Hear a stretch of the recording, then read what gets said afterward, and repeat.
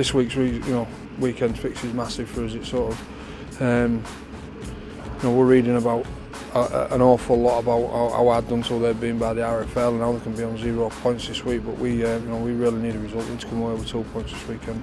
Every week's tough, but um, especially Bradford play them this week. You know they're going to try and get to zero as fast as they can and going to play some unexpected football, which is hard to defend. And uh, we just got to turn up with the right mindset and just be prepared for a tough game. We've had a pretty tough draw. Uh, obviously, Catalans, you know, big, massive pack, and uh, we scraped the win there, and then going to St Helens and give them a good run, and also uh, Wire last week. You know, pretty tough, but you know, we're pretty unlucky. I, I think you know, just execution and, and, and some of the plays, but. Uh, you know, we've got another big challenge this Friday. You know, against a, a team who've lost a lot of players, and you know, they, they got they're, they're coming here to play, and uh, they're coming here for the win. And we're also looking to be looking forward to playing back at home and, and also get the win. So it's going to be a good game on Friday. We need to be on four points this Friday. That, that is the be all and end all. We um, it's. Uh, You know, it's disheartening when you come away with places um, saying we could have done this, we could have done that, but at the end of the day we haven't got the results and we, we really need one this week. You know, we've got a lot of respect for Bradford. You know, they're a good club, and you know, it's just unfortunate. You know, they've lost a bit of players, and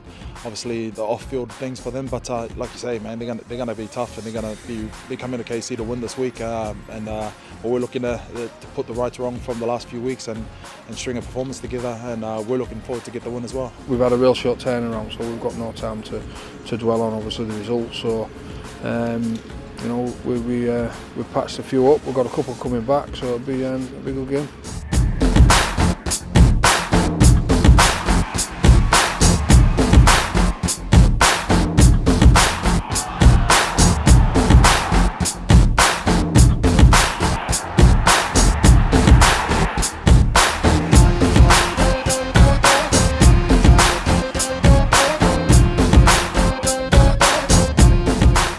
Think all the games we've played in the last little while are important, mainly for our own morale and, uh, and you know we've got we've had goals as well at the start of the year and we we have to address those so we, we you know we've got to be focused on those. It's a big game in that we could well a week and a half after going in admin we could well be on back on zero points and looking down at a club or two so that's important uh, and it puts pressure on other clubs then.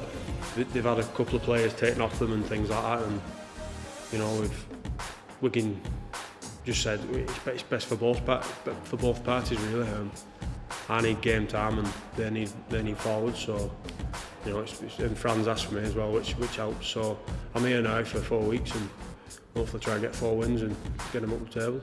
It kind of takes you back a bit to see how how well they responded to.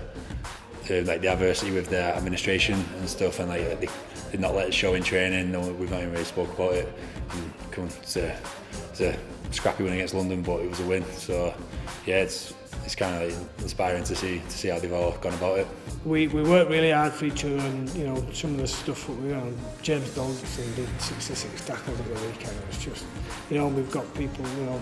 Um, Adam Sidlow did 40 and 22 carries and we had to because we had no middles We're working hard. We just we've just got to make sure that we, we spread that out and we, we when we've got the ball we don't give it away cheaply. I thought we did probably in the last couple of weeks we've just given some cheap ball away when we never needed to do it and put ourselves under pressure. There's a couple of people I know from up there, you know. Chris, I don't know if Tuson were playing, but I know Tuson. I knew Fecker for a little bit as well, and you know that'd be good. I'd be good for play against him, see what he's like.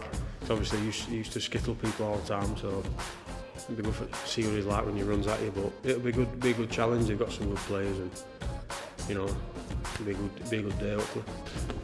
Well, yeah, you've got to believe that you can beat any team. I think uh, they're not being far away, have they? Um, you know, the Catalan game was a strange game, probably they'll admit that, but they've not been far away against some tough places to go, you know, Saints and, and Warrington. So um, they're a good team. They're a good team. I think um, we've got to be our best to beat them, and we need to be.